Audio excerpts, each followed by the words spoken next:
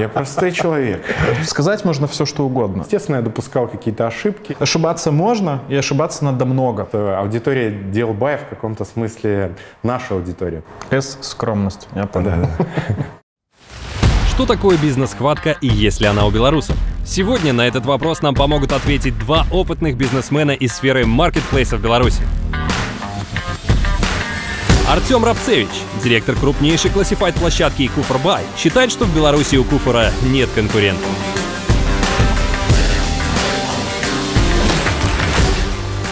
Максим Маринич, руководитель маркетплейса DLBuy, уверен, что в Беларуси есть все возможности, чтобы развивать этот рынок.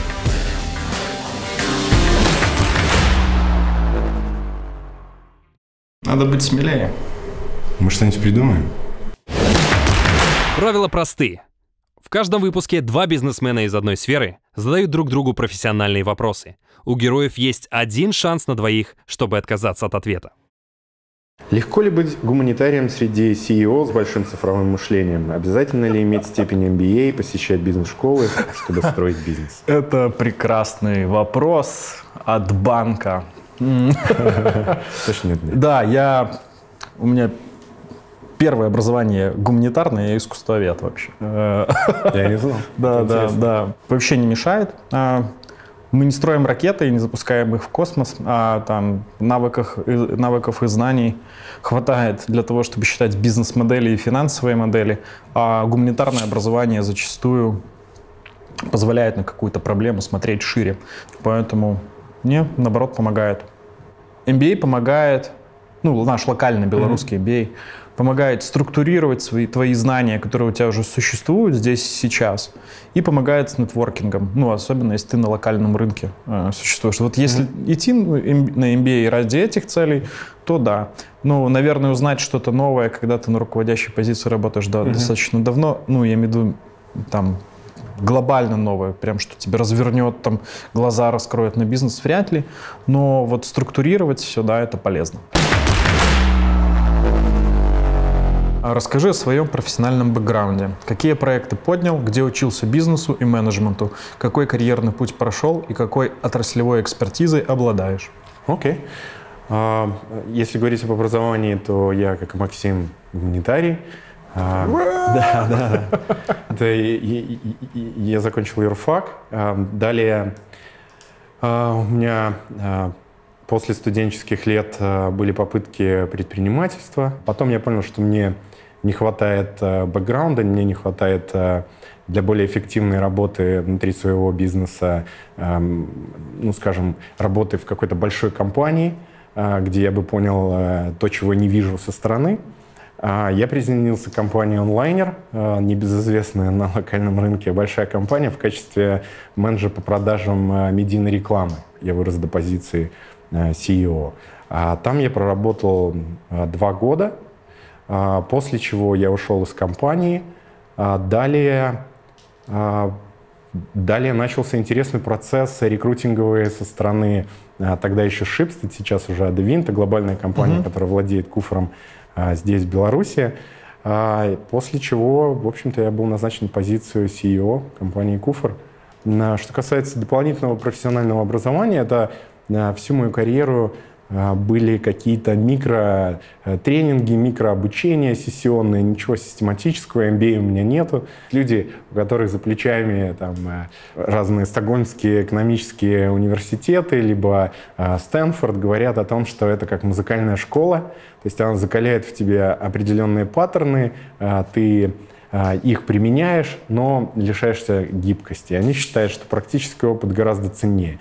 Но я все равно, как человек через это не прошедший, в это не верю. А, и все еще хочу. Вы часть украинской EVO Group. Насколько вы независимы в решениях на белорусском рынке? Э, да, мы часть EVO Group. Э, мы да, структурное подразделение, и мы независимы. Ну, я имею в виду, вот, э, что, что такое независимость? Независимость, там, можем ли мы тут э, чудить как угодно? Ну, наверное, нет, потому что есть же история там с какими-то внятными процессами, согласованием mm-hmm. бюджетов, э, кон, кон, концепции какое-то там развития пути. Да, мы вертикальный проект, у нас вертикализация, мы независимый mm-hmm. бизнес, мы выделенный офис, мы единственный там офис, э, находящийся полноценный с обслуживанием клиентов за, за пределами Украины.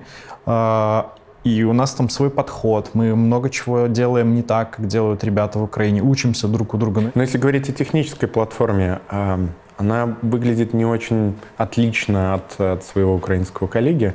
Продукту там 10 лет. Угу. И там легаси просто огромного продукта. Потому что э, все, что видит э, рынок, это фронт. Ну, то mm-hmm. есть это вот э, веб-морду, в которой там есть категории какие-то, есть карточки товара, mm-hmm. но у нас внутри продукта есть э, кабинет пользователя, я имею в виду нашего мерчанта.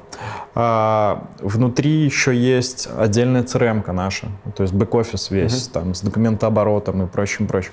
И какие-то штуки, естественно, отличаются, потому что а, там разница в документообороте, разница в выдаче, разница в категориях, которые можно отображать. Mm-hmm. Ну и вот здесь, э, здесь мы локально дорабатываем какие-то штуки. Можете ли вы сказать, условно, руководству на стороне EVO Group, что вы хотите полностью изменить подачу объявлений? А, у себя. Ну, вот, я говорю, что сказать можно все, что угодно. Ну, То есть аргументированно. Да. Э, работа в компании в этой приучила к тому, что ну, ты не можешь сказать просто «я хочу». Да, то есть решение должно быть обоснованным. А так у нас, конечно, свобода развивать э, проект, как мы там, считаем правильным и нужным, потому что мы находимся внутри рынка, у нас там, мы понимаем особенности нашего mm-hmm. рынка, поэтому да, с, с этим вообще все хорошо. Чем позиция Куфора отличается от российского Авито и украинского OLX? Что похоже и в чем разница? Если, если мы говорим о позиции по отношению к конкурентам э, в сегменте классифайдов, я бы сказал, что ничем. Главный признак отличия — это э, популяция, интернет-популяция. То есть э, там, где больше людей, там, естественно, больше денег в рынке, крупнее товарооборот, и потребностей рынка, наверное, больше. И Авито со своей стороны, насколько мы как соседи видим, их, их закрывает финансовыми сервисами, сервисами доставки. Это тоже происходит в Украине. Поэтому нас отличает компактность и интернет-популяция по размерам. Как ты думаешь, порог входа высокий в Беларуси для появления еще, например, одного игрока, который будет в вашем сегменте работать? Я считаю, что да, порог входа достаточно высокий здесь, в Беларуси. В Беларуси есть игроки, которых ты считаешь своими конкурентами? Отрыв э, в сегменте General Classified, это в площадке объявлений в целом, у нас э, довольно большой от любого Э, сайта, которого можно было бы назвать конкурентом. А, есть э, посегментно э, серьезные игроки, на которых мы смотрим ежедневно, наверное, и пытаемся каким-то образом знаешь, решить эту головоломку, как забрать их аудиторию, сделать ее нашей. Если говорить про конкретные сегменты, то такие игроки есть в авто и, и в недвижимости, пожалуй. Может, их надо купить? Ну, у Куфора еще не столько денег, чтобы покупать кого угодно. С скромность, я понял. Артем, э, скажите, пожалуйста, а есть ли у DLBY аудитория, которую вы бы хотели привлечь к себе, забрать? Аудитория DLBY в каком-то смысле наша аудитория. Просто э, она закрывает э, какие-то свои потребности определенные у нас, а, ровно так же, как она закрывает другие на, на DLBY. То есть у нас, я бы сказал, не очень сильно пересекается аудитория классифайда, именно частных объявлений. Не хочет Артем у меня ничего забирать, все нормально. Но и отдавать тоже. Да. Какова доля интернет-торговли в розничном товарообороте Беларуси по сравнению с другими странами СНГ? Как быстро изменяется эта доля? Да, 3% э, доли интернет-торговли. Это, если сравнивать с, со всеми приграничными странами, это, наверное, самая маленькая доля, потому что в Украине там 3,5-4, в России больше 5 уже, Польша убежала давно вперед. Растет эта доля органически, порядка там 20-25% в год.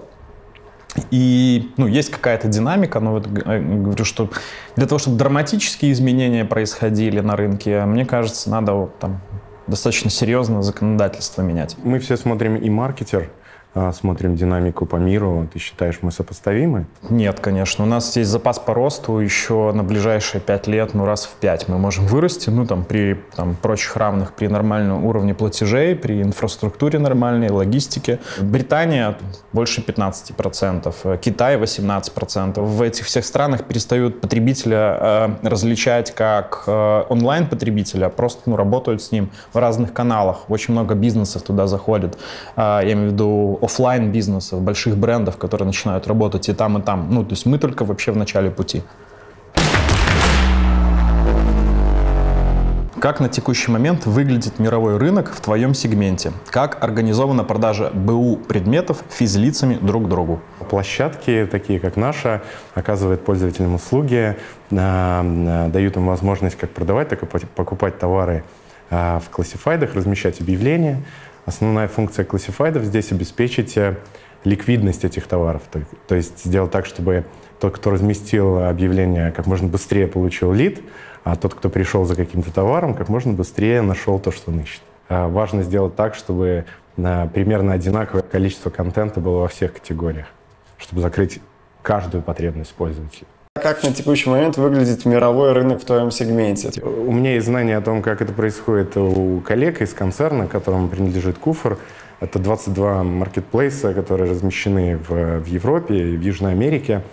А, могу сказать, что модель бизнеса, она отличается какими-то минорными деталями. Например, если мы посмотрим э, АИМовский отчет, на первом месте э, по-прежнему э, находится Craigslist американский. Интерфейсно э, и вообще по своей бизнес-модели она настолько примитивна, насколько может быть. То есть это доска объявлений, газета, каким-то образом импортированная в, в интернет.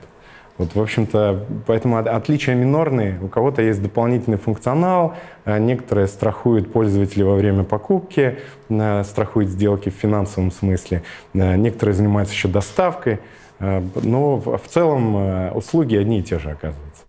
А вот если поговорить про монетизацию, какие могут быть модели монетизации в этом бизнесе?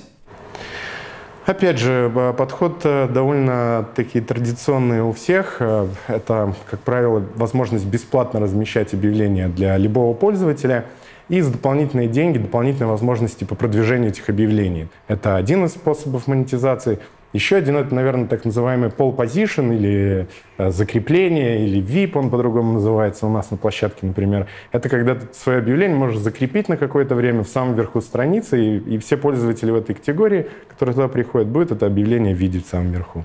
Это что касается частных пользователей.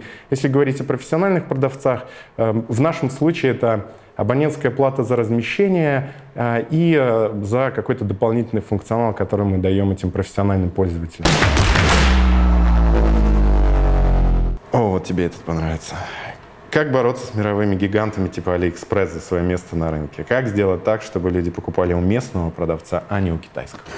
Прекрасный вопрос глядя на цифры, глядя на исследования, я понимаю, что ну, это не, неотъемлемая часть экосистемы. Э, взросление потребителя происходит через покупку на китайском сайте. Ему не страшно потратить там 3 доллара на какие-то там мелкие товары. Привезли в Беларусь, он посмотрел, пощупал, ага, работает, Алиэкспресс, все понятно, и можно пробовать что-то уже на белорусских сайтах покупать. То есть вот взросление потребителя происходит в том числе через эти площадки. Да, есть нюансы. Нюансы связаны прежде всего с тем, что там несовершенно законодательство, потому что условное, там, не знаю, шорты или платье, которое приходит из Китая mm. и продается в Беларуси, а, ну вот его купили за там 5 долларов, 10 долларов, и оно пришло. А предприниматель э, малый, который едет, покупает этот товар, точно такое же платье или точно такие же шорты, привозит в Беларусь, он должен их сертифицировать, там еще какие-то дополнительные расходы. И он получается, продает их по неконкурентной цене. Тогда нам надо внутри рынка э, менять правила. Ну, либо правила выдвигать э, для внешних игроков, либо э, трансформировать правила для локальных игроков, чтобы все были там плюс-минус равных условиях. 5-6 лет назад э, мы получили как э, по- подарок от государства вот этот лимит, который должен защищать бизнес теоретически в 22 евро на заказ из, из-за границы.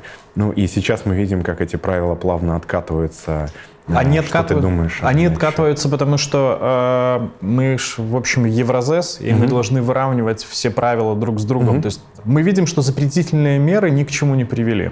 То есть объем посылок не уменьшился, люди заказывают и дальше, они находят лазейки. А вопрос в том, что белорусский бизнес никак не воспользовался этим, к сожалению. Ну, а, было ожидание, что вот это там какая-то ограничительная мера как-то повлияет на бизнес, там люди начнут заморачиваться за сервис, там еще что-то там отстраивать себя. Ну вот нет, этого не произошло. А, белорусы вот как-то чуть-чуть пока еще не про это. Ну вот два года назад мы, слыша, например, Алиэкспресс, э, мы не считали его прямым конкурентом, в нашем случае, к примеру. Э, э, Но сейчас, э, недавно случилась эта сделка в России, которая угроза сделала более очевидной, наверное, для э, рынка СНГ. А Как, как ты к этому относишься? Как скоро ты думаешь, что-то может произойти, если может произойти? Честно, я думаю, они настолько будут заняты баталиями внутри. э, И я думаю, что, ну, если в какой-то момент дойдут руки у ребят до Беларуси, ну, это там горизонт года 3-4. Ну, тут у нас есть опция только усиляться, растить отношения с потребителем, растить сервис, обучать мерчантов и, ну, как бы быть устойчивыми в этом смысле. Не кажется ли тебе, что Куфор потерял свою идентичность с вводом новых товаров на площадке? Например, еще э, через проекты авто и недвижимость в том числе.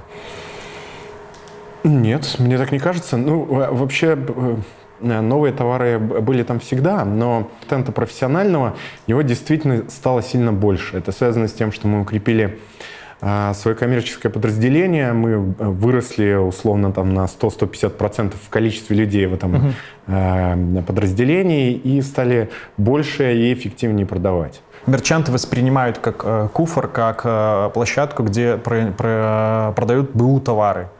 И где нет места новым товарам. То есть у них вот, короче, у мерчантов может же возникать такой диссонанс. Что вы с этим делаете? Ну, а, вообще, э, идентификация объявлений от частных э, и от профессиональных продавцов, она довольно очевидна, и можно сразу понять и отфильтровать э, там, частные объявления от профессиональных. Что касается модерации, то мы прилагаем максимальные усилия для того, чтобы ни- никто из э, профессионалов не притворился частным продавцом. Мы с этим очень э, э, жестоко боремся, баним этих пользователей. Я могу сказать, что вот это ощущение о том, что э, у нас стало чуть больше профессиональных э, продавцов, связано с тем, что на одного профессионального листера приходится гораздо больше контента, э, чем на одного частного.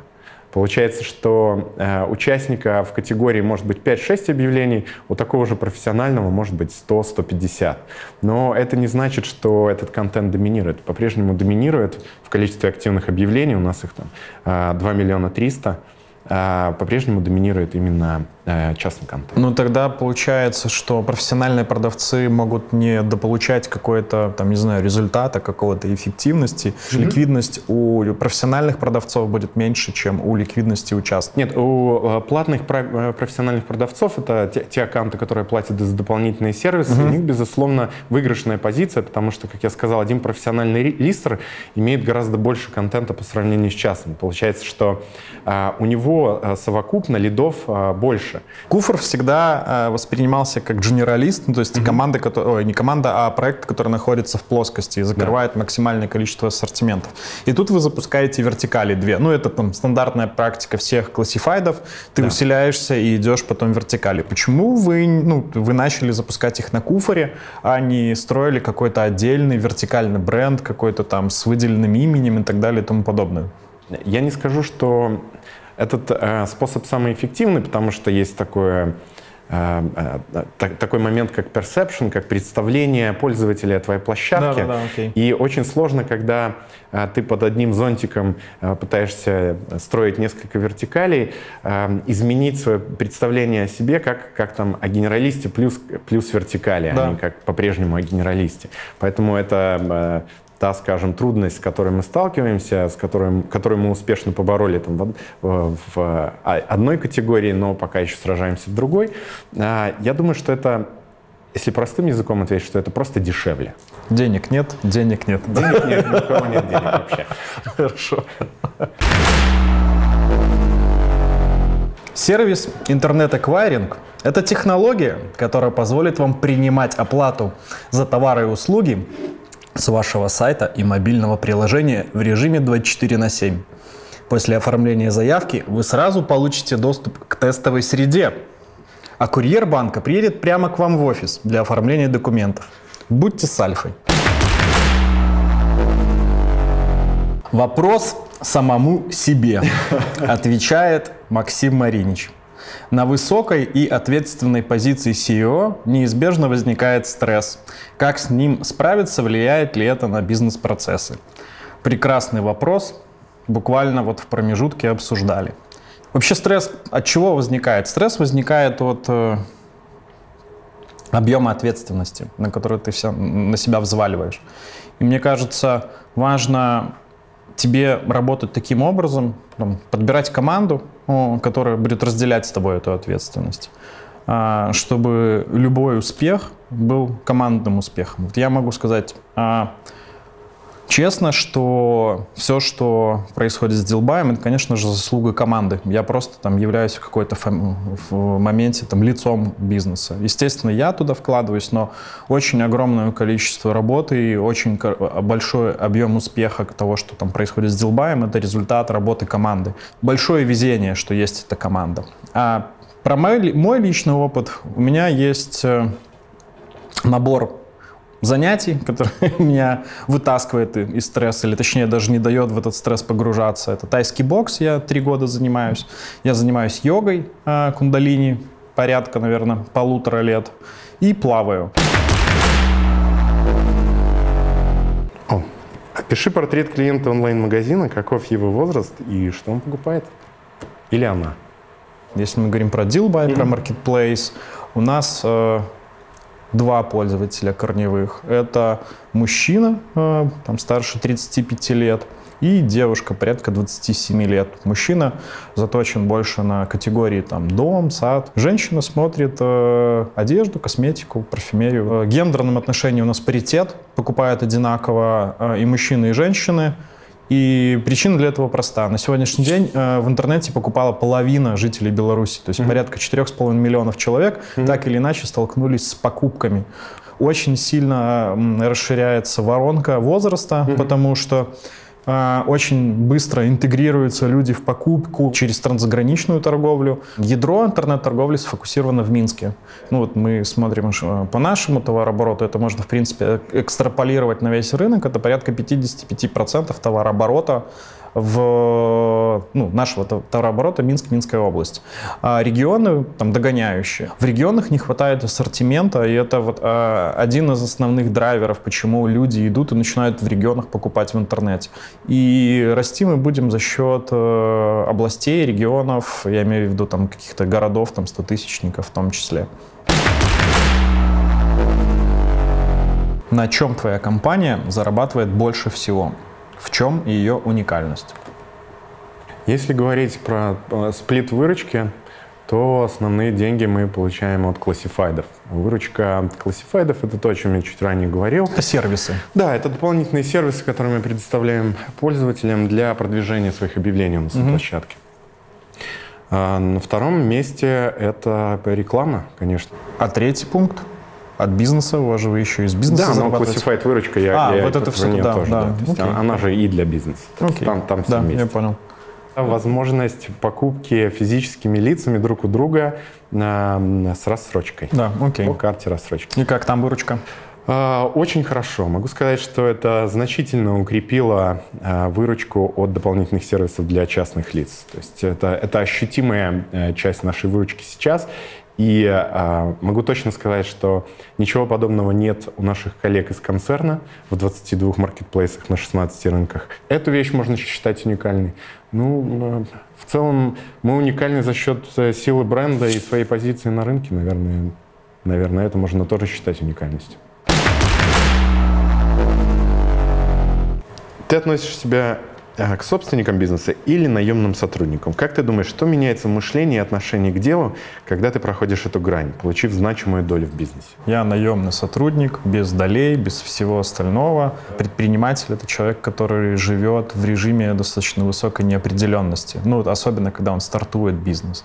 Получается, получить долю какую-то миноритарную в существующем бизнесе, ну, это вообще сложно сравнивать. Ты, ну, как бы в данном случае мне кажется, ты получаешь, когда ты получаешь долю в каком-то бизнесе э, из-за того, что ты там отработал, какой-то результат показал, ну это скорее там способ э, компании там тебя поддержать, вознаградить и удержать. А если мы э, сравниваем понятно, там, наемного директора и человека, который бизнесом руководит, это уровень неопределенности, с которым эти люди сталкиваются зачастую. Ну, то есть у предпринимателя чистого, я там был, я просто по эту сторону, сторону баррикад был, э, уровень неопределенности вообще крайне-крайне-крайне высокий. Его способность работать со стрессом и там, находиться в состоянии стресса и принимать внятные решения при этом, ну, это очень э, крутой скилл должен быть у человека.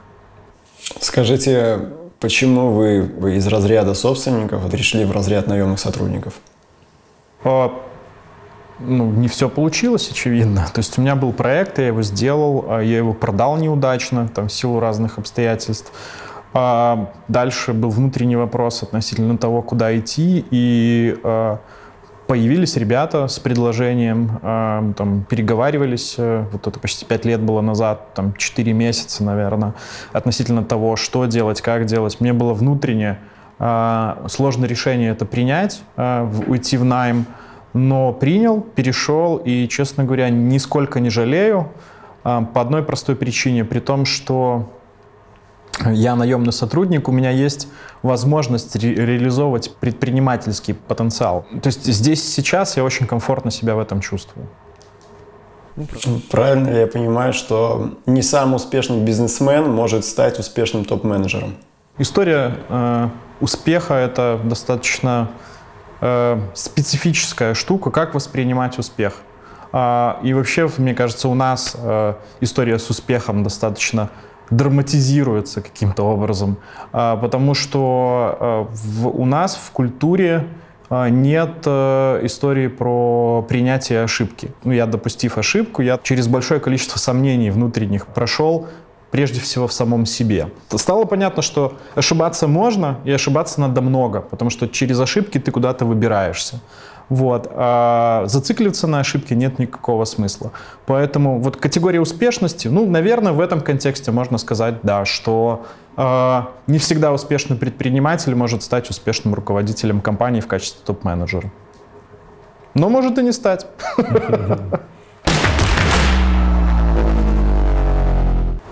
Вопросы есть еще? Господин ведущий. Господин ведущий. Вопросы еще есть в карточках. Хорошо. А, в одном интервью а, ты сказал, что а, в Куфоре существует такое понятие, как Education Day. Угу. День, когда сотрудник должен заниматься самообразованием. Как это работает? Помогает ли для развития бизнеса? А, да, есть такая программа. Это день, который отводится, скажем, техническому специалисту на то, чтобы он подтянул свои навыки а, в понимании технологии, в работе с ними. Это только для технического э, персонала, то есть там условно разработка и около разработки, а ребята, которые там занимаются там контентом э, или там, э, не знаю, модерацией или продажами. Мы поощряем любые инициативы, связанные с образованием, но у некоторых подразделений компании есть четкие KPI. Мы, в принципе, не против, чтобы они потратили на этот день, но они... А, но план есть план. Ну, ну, план, ну то есть не, не всегда они, а, скажем, хотят тратить этот день. Okay. как альтернатива тому, чтобы поработать. Как часто он бывает? Много программ образовательных. Если говорить про Education Day, то еще одна альтернатива, которую мы предлагаем как работодатель, это Travel Grant. А, то есть любой из наших сотрудников может а, зааплавиться на эту программу, принять участие скажем, в стажировке в другом маркетплейсе на другом конце света или на соседнем рынке, как ему покажется интересным и полезным, он просто должен написать письмо, в котором он объяснит, зачем ему это нужно. Mm-hmm. Причем не мы, как компания, принимаем решение, там, а принимает решение наша глобальная компания. То есть мы здесь не влияем на, условно говоря, наш PNL, а, поэтому нету никаких, никакой предвзятости. То есть okay, да. у нас есть. Есть еще Sales Академия для продавцов. Это э, долгосрочный курс э, в Барселоне, который наши продавцы про, проходят. И по прохождению этого курса формируется понимание о том, что эта профессия не, не так, как вот в локальной ментальности считается, что это какая-то вот перебиться, какое-то время поработать, а потом я буду работать с кем-то другим. А там это действительно очень престижная профессия, и мне бы очень хотелось, чтобы и в Беларуси так было, потому что, откровенно говоря, кадров в продажах, э, хороших кадров в продажах, их очень мало. В чем суть ассоциации электронной коммерции, которую вы запускаете? Чьи интересы будете защищать? О, ассоциация электронной коммерции, которую мы э, делаем вместе с э, игроками Едоставка и Гипермол и активно приглашаем туда всех участников рынка, сделано для того, чтобы рынок этот самый развивать. Ключевая задача защищать интересы рынка и мы, в свою очередь, э, учитывая, что у нас э, одна клиентская база — это малый средний бизнес, мы активно будем э, представлять интересы малого среднего бизнеса у регуляторов. Каждый как бы член ассоциации, который будет заходить в нее и будет иметь право сформировать какую-то повестку э, и там топить за какую-то идею, там трансформацию рынка. То есть э, основная задача не вводить какие-то проте э, протекционистские меры, не защищать кого-то. Основная задача растить ассортимент, возможности продажи в интернете каких-то там больше и больше ассортимента, э, снижать еще больше порог входа для малого среднего бизнеса, упрощать работу работу с точки зрения документа оборота и каких-то отдельных историй. Вот, наверное, так ключевая. Поэтому ну, мы туда хотим пригласить и площадки, и интернет-магазины, и интернет-аквайринг, там, то платежников всех, и доставку. То есть все, кто связан с покупкой э, товара или услуги в интернете, вот мы приглашаем в ассоциацию. Да. Что последнее ты продавал на куфоре и сколько это заняло по времени? Я продавал объектив, а, и его у меня купили меньше, чем за час. Круто. Да. Ну, может быть, э, это было связано с тем, что я Цену низкую поставил. Нет, нет, э, нет, нет. Э, что я э, примерно понимаю, как должно быть оформлено объявление, а, насколько качественный должен быть контент, фотографии. А, поэтому я его сделал именно так, чтобы оно было эффективно. У нас есть, например, есть сервис Кабанчик услуг. И мы раз в квартал, у нас там квартальные сессии, мы смотрим, какие прикольные задания бывают на куфре. Есть люди запрашивают, ой, на куфре, а на кабанчике. Есть там люди, которые запрашивают спрашивают э, там, типа, собутыльника, э, есть люди, которые просят э, съесть вместе торт. Ну, там, про выгул собаки такую мелочь, там, ну, как бы, даже не говорю. Ну, вот есть какие-то угарные штуки, да, которые мы есть. Тут есть какие-то вещи такие на куфоре? Э, на самом деле, их очень много, и куфор сам по себе периодически становится э, героем каких-то информационных поводов, потому что на нем предлагает такие вещи, как, например, э, универмаг центральный в разделе недвижимости. Тоже была статья, его, э, в общем, пытались продать. В смысле, ЦУМ пытались да, продать на Нет, Центральный, центральный универмаг. А, универсам. универсам. Да, да, да. Очень надо быть точным в терминологии. Согласен, да. Его пытались продать на куфре. Потом малые воздушные э, объекты суда, да. Самолеты, в смысле, да, какие? Да, маленькие, там э, такие двух, двухместные, да. Дай совет начинающему бизнесмену, который хочет работать с Якомом. Размещайтесь на куфере. Или на Дилбай. Мой совет будет очень простой. Взглянуть как бы вот издалека на все, что есть в качестве инструментов, э, способов прийти к цели и по максимуму этим воспользоваться. Не инвестировать самые последние деньги, э, особенно О, да. в самом начале пути, потому что это будет сковывать э, в том, чтобы делать ошибки. То есть, инвестировав последние деньги, очевидно, а, можно сильно разочароваться и больше не вернуться к этой затее, которая в, в корне может быть вполне э, иметь хороший потенциал. Поэтому я бы, я бы посоветовал позволять себе ошибаться. Ассортимент. Ищите нишевой ассортимент интересный, которого нет на рынке. А, и заморачивайтесь на сервис. А, с самым, может быть, не супер крутым ассортиментом и, может быть, с абсолютно ровной услугой, а, который вы, с которой вы выходите на рынок, если вы это запакуете все в крутой сервис, где вот клиент для вас будет в 7, вы будете рвать. Просто рвать, сметать всех, потому что рынку Беларуси, рынку СНГ этого не хватает. Все компании, у которых э, есть очень высокая лояльность клиентов, это всегда очень крутой сервис. Поэтому сервис, сервис, сервис, сервис. Я здесь тоже присоединюсь и, и, и дополню. Вот что я замечаю ну, со стороны э, в работе э, предпринимателей, может быть, даже не начинающих, а уже продолжающих, это фокус на краткосрочных целях. Это желание как, как можно быстрее получить ценность, при этом э, не инвестировав э, во что-то более долгосрочное. И мой совет, наверное, будет всегда смотреть чуть дальше, чем краткосрочная выгода. Очень сложно, мне кажется, это делать. Хочется обеспечить какой-то внятный фундамент для того, чтобы строить что-то дальше. У нас осталась еще одна карточка. Отказ от ответа. Никто ею не воспользовался, поэтому сейчас вопрос обоим. Сколько вы зарабатываете? Извините. Ладно, ладно.